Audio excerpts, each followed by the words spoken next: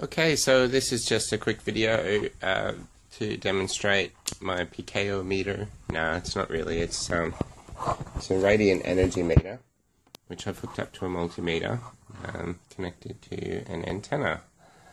So, um, when you put the antenna near an energy source, and that includes um, an area where PK is is happening, as seen on my previous videos. Uh, it will uh, it will register a readout. Um, just trying to get this thing to focus so you can see the circuit.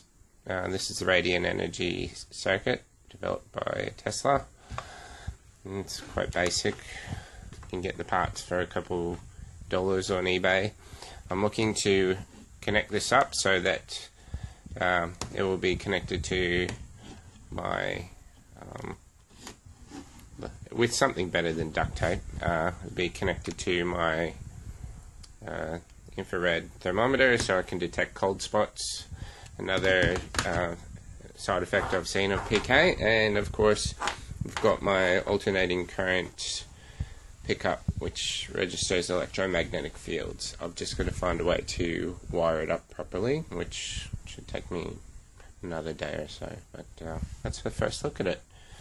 Anyway uh, yeah, I just wanted to sort of put it out there for those of you who are thinking of doing devices, similar devices. Uh, oh, yeah, got a nice little compass on the end of it, so I can uh, I can detect changes in the magnetic field as well. So there you have it. Okay.